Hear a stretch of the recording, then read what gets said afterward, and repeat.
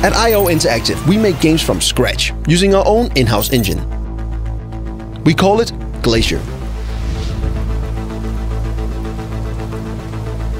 Hitman looks, sounds and plays better than ever with our third installment. Lighting and reflections are updated, which is on full display here on the rainy, near-lit streets of our newly revealed location, Chongqing. Details like water effects, drops hitting Agent 47 and his clothes getting wet all adds to player immersion. No pun intended.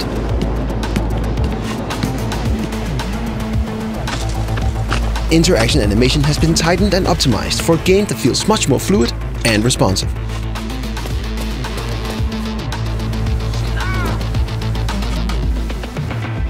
Ever since the first Hitman game 20 years ago, we've been setting the bar for AI in games.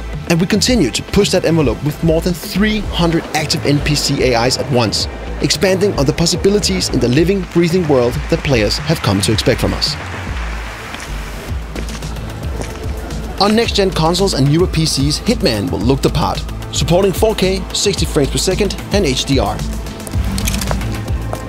And all these improvements in animation, rendering, AI and so forth will all be part of Hitman 1 and 2 through Hitman 3, enhancing the full trilogy.